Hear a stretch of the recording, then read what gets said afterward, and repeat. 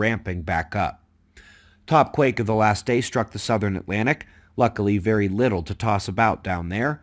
So let's go to the West Pacific, where an unassuming-looking low cell near Mariana is forming quickly into a typhoon.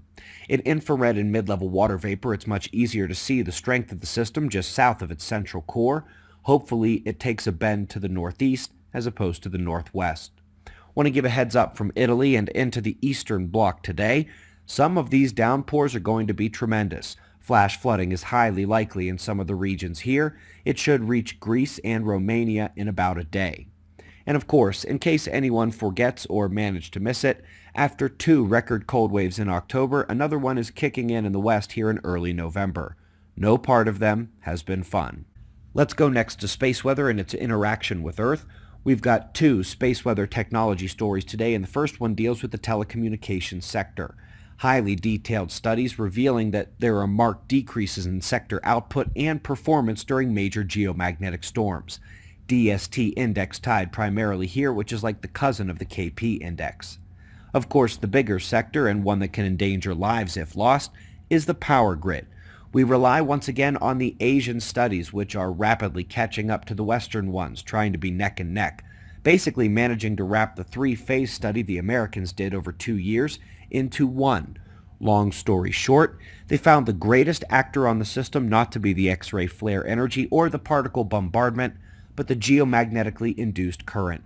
This is where the magnetic field of the planet turns from the protector to the effector, since its interaction with the solar wind is what's driving those induced currents. We are never more than one solar blast away from having every copper wire on Earth melt.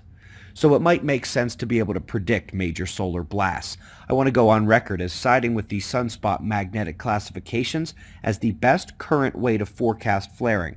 But I also recognize that these sequence and pattern studies may one day reveal much, much more. They have shown promise, and we've got another baby step in the right direction here today. And we are off into space.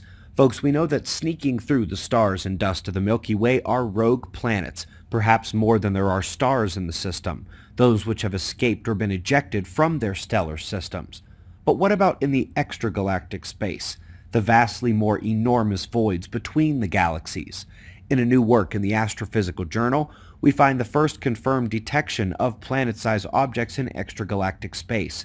These may have been ejected from a galactic stellar system, but that is unlikely. So we must ask where they got the stones to come together like that. Wink. Up next, for those who haven't heard the Planck data and cosmic microwave background are causing a bit of trouble for cosmologists, they are. They cannot seem to relieve the tension presented by these observations when compared to the model expectations or each other. A new work examines the potential of massive neutrinos to be the culprit, but in addition to the fact that we've never seen such neutral relics of these scientist imaginations, the math says it wouldn't work out anyway. And that takes up another option because whether it's the space surrounding a galaxy or the pre-universe universe, or what lies beyond the known universe, the math is starting to say that Bose-Einstein condensates are not such a bad option for investigation. FYI, that would merely be an exotic form of normal luminous matter, not some new particle, and that would be wholly acceptable within the plasma electromagnetic paradigms. Last but not least, I figured this was going to be a negative paper when I read the title, something cutting against the use of ancient stories to interpret evidence and the story of Earth's catastrophic punctuations to these long periods of calm stability. But I was wrong. This is why you actually read the papers. The myths to which the paper refers are the same kind that we identify and attempt to tear down.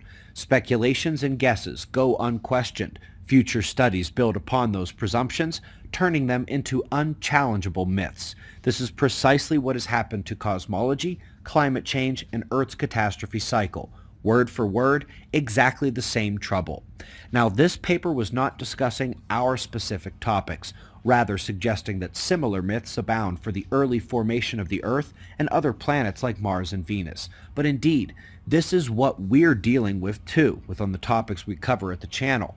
All three have a dedicated movie to help you catch up. You can find them on our channel page, our website homepage, or at the links in the box right below the video. If you are new here, they are very recommended, almost needed to watch the daily shows.